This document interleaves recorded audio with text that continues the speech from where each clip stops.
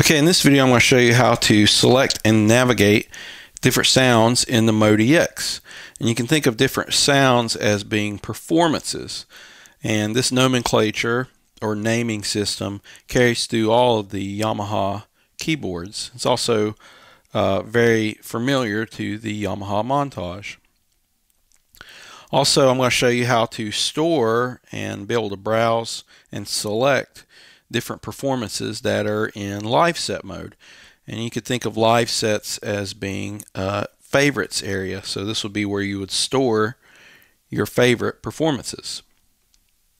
So when you first boot up or power on the MODX, you're actually going to be taken to a live set view. You can see at the top left here it says live set. And so in each live set, it's a collection of different performances and it may be quite a bit, so much that it doesn't fit on the page here. So with any one of these sounds, um, if you've played around with the MODX or Mode for more than a few seconds, you probably can tell that you can click on these and then play different sounds. And then to navigate to the other pages in this particular live set, you just click the down arrow and it's kind of like going to the second page of the 16 uh, live sets that are visible on this page. So then we can go down to the next set and the next set and so forth. Let's go back up to the top.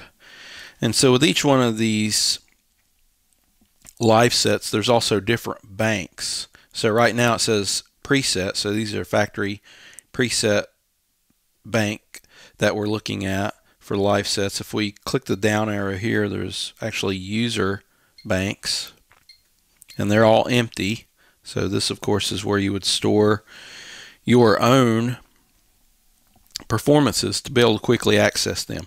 Now why would you do that? Maybe you're gigging with a band, you're playing on stage, or you might be doing a recording session at a studio and you may want to be able to quickly access a certain collection of performances just to kind of speed up the process rather than just writing down the number or the names of these and doing keyword searches and things like that to find your sounds. You may just want to put them all in one section. So anytime that we're have a performance highlighted in a live set, you can actually click the performance home and it goes to the performance edit pages for that particular performances. So now you're out of live set mode. You're in this particular uh, performance page. And this performance page shows the name of the performance. It also shows a few common controls here. We can get into some of these later. And then it also shows the different parts that a performance can have. So you could have layered up sounds here. This one just has one sound, but if we use the scroll wheel, you can see this one has five different sounds in here, or parts as they're called in a MODX. So, for instance, let's play this. And this one has a few ARP assignments and things like that. Um, you can also navigate this by, uh, I showed you the scroll wheel. You can also use the increment and decrement buttons to kind of go up and down to scroll through these. Now there's many different sounds here. You wouldn't want to um, necessarily scroll through those and that way it'd be very slow. What you might want to do is look up certain sounds based on the type of sounds they are. So you may be wanting to find a certain bass sound or you may be wanting to find a certain piano sound or you may be wanting to find a certain drum kit. So then what you would more than likely do in a work type environment is you would want to do searches based on categories. So you'd be able to browse and do those. So if you click on the individual name here where it says caramel ice, a flyout menu comes out and then there's a category search button. So if you click on that category search button, brings up the performance category search. Now you can also access this page. Let me exit out of this and let's go back to live set for example. You can also access by clicking on the category search button. It's handy for Yamaha to put that there because they know it's a way you're going to quickly be accessing this. And then you can also click on the category button from there. So it's always going to take you to this uh, performance category search. So that's how you do it. So there's two different rows here. There's a main and a sub.